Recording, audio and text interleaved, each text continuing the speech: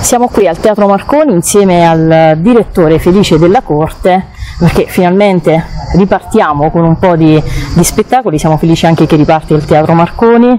e, diciamo l'impegno è tanto. Sì. Però siamo qui anche per una, una cosa importante, eh, sei, eh, fai parte dell'UTR, l'Unione Teatri di Roma, sono ben 47 eh, teatri che si sono riuniti, perché si sono riuniti questi, questi teatri? Ma per la ragione più semplice del mondo, perché avevamo bisogno di un'associazione che ci riunisse, che potesse esprimere quelle che sono le eh, caratteristiche poi dell'esercizio teatrale, perché, perché molto spesso eh, qual è l'esigenza di riunire delle, delle, stessa, gli stessi soggetti in un'associazione? È quella di poter significare a chi poi ti osserva e come pubblico, ma soprattutto come amministratori, eh, quali sono le peculiarità del, del settore e mai come in questo caso noi ci rendiamo conto eh, dell'importanza di questa cosa. Lo vediamo perché molto spesso eh, le norme che vengono, eh, dire, che vengono, espresse, che vengono fatte, eh, sono sì norme che eh, evidenziano un'attenzione un da parte del, del, di chi ci amministra rispetto a, ai vari argomenti,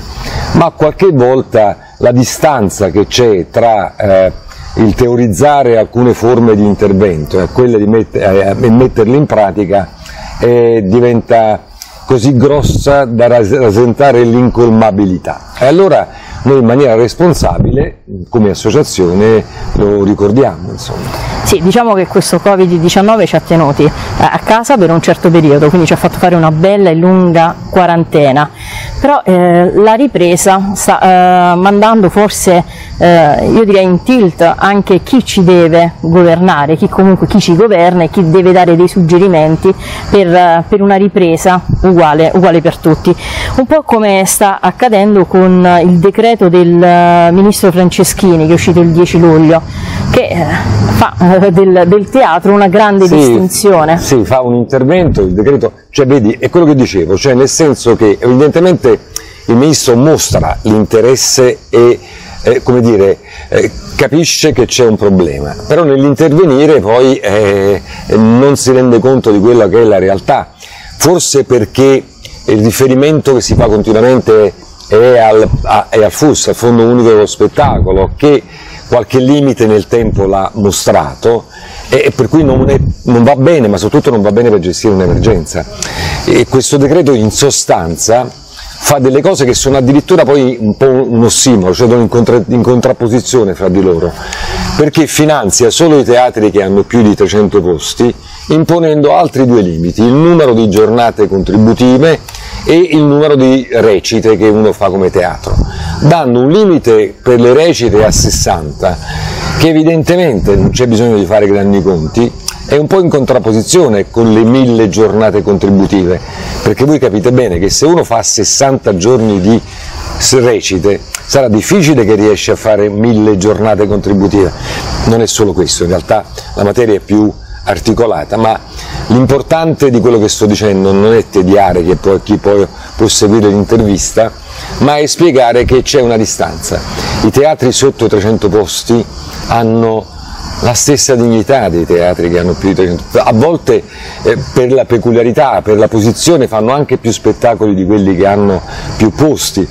non è questione di, di, di come devo dire, eh, della grandezza che fa l'importanza di un luogo. I luoghi importanti sono storici, sono sicuramente grandi teatri che hanno diritto a questa cosa. E badate bene che con alcune pieghe del decreto probabilmente c'è anche qualche grande teatro che non riesce ad attingere a, al fondo. Eh, d'altra parte, come dimenticare che il teatro nasce anche nelle piccole sale, tutti i più grandi hanno, si sono formati, sono diventati grandi nelle piccole sale per poi approdare nelle grandi. E disconoscere questo è, è, è paradossale, no? E allora eh, si capisce subito qual è l'importanza di un settore, un settore che conosce la difficoltà, la riapertura tea dei teatri dettata al 15 giugno è un po' anche questa una, una sciocchezza, eh, adesso mi spiace usare questo termine, non c'è bisogno di essere esperti di teatro, chiunque ha frequentato il teatro due volte in un anno sa che non c'è andato mai a luglio, agosto, si va all'aperto, ma a luglio, agosto, settembre non vai al chiuso in un teatro, la riapertura dei teatri il 15 giugno è, un problema, è un grosso problema. Evidentemente noi riapriamo, partiamo con l'attività a fine settembre, ottobre, quindi quello che per altri è stata la ripresa finita l'emergenza, chiamiamola così, anche se poi non è finita, le norme restrittive che sono nei confronti dei teatri e attenzione della scuola più restrittivi che per altre, per altre cose, mettono ancora più in difficoltà il settore. Il teatro, come la scuola, è fondamentale per la vita sociale. È vero che se uno non lo frequenta non lo capisce, ma la scuola è importantissima ed ha un senso e un valore che può essere sfruttato appieno solo quando si fa insieme, non via web, non con i sistemi così. C'è la nostra vita è fatta di rapporti, di relazioni, noi impariamo a parlare, impariamo a relazionarci, viviamo e vinciamo le nostre debolezze solo se possiamo confrontarci di persona, vederci. E la scuola lo fa, il teatro è fondamentale, tra le altre cose è un vero delitto che il teatro non faccia ancora parte delle materie di insegnamento, ma questo è ancora un altro argomento. Quindi noi abbiamo bisogno, di, abbiamo bisogno di essere sostenuti perché tra le altre cose fare uno spettacolo teatrale non fa differenza se tu lo fai per uno o per cento persone, lo devi fare tutto, intero, per forza. Non è come, per l'amor di Dio, il salame, che ne tagli un pezzo e se non lo vendi oggi lo puoi vendere domani. Il teatro lo devi fare tutto, sempre e comunque. Nel momento in cui si va in scena, ci siano spettatori, ce ne siano cento, succede questo e allora perché la gente si riabitui a frequentare i teatri c'è bisogno che noi responsabilmente teniamo aperti i teatri quando le norme saranno un po' più chiare, c'è da dire anche questo. Ma lo Stato ci deve sostenere perché questo sia possibile, altrimenti come faremo? E si perderà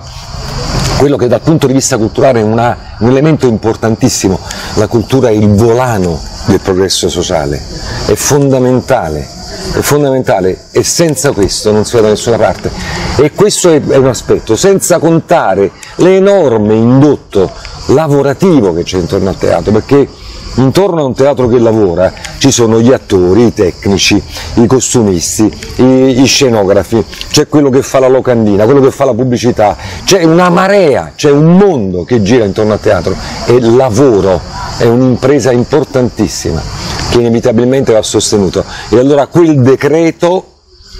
che giustamente vede la possibilità di finanziare il teatro perché finanzia tenendo conto tra le altre cose di elementi oggettivi perché è il fatturato, noi non chiediamo l'elemosina, noi vogliamo essere aiutati come gli altri. Il fatturato fatto negli anni precedenti in percentuale va dato come contributo a salvaguardia dell'attività, tenendo conto dei borderò, non tutte le altre cose e soprattutto non del numero di posti. Si fa teatro eh, ed è bellissima questa cosa, anche negli spazi più piccoli, non solo quelli sopra i 300 posti. Allora non possiamo che augurarci che presto si ritrovino, si trovino delle soluzioni più adeguate per il mondo del teatro. Basta mettere un altro pochino di fondi su quello che già è stato stanziato e aprire questo, questa possibilità di sostegno a tutte le realtà professionali che operano nel settore da tempo. Tutto certificabile, tutto visibile, tutto controllabile e aiutare chi questo lavoro fa da sempre. Benissimo, noi ringraziamo Felice della Corte perché ci ha illustrato anche questo, questo decreto, speriamo che veramente eh, il teatro possa ripartire, quindi un grande in bocca al lupo lo facciamo al teatro, certo. Aggiungo solo un'altra cosa, attenzione, lo dico per il grande pubblico, rispetteremo tutte le norme, non c'è dubbio, questo è, però sappiate che anche prima del Covid i teatri sono luoghi sicuri, per poter stare aperti hanno bisogno dell'agibilità, il che significa che noi dobbiamo tenere sotto controllo le norme, la reazione, tutto quello che è possibile. Venite a teatro, starete meglio. Grazie. Ciao, buona serata.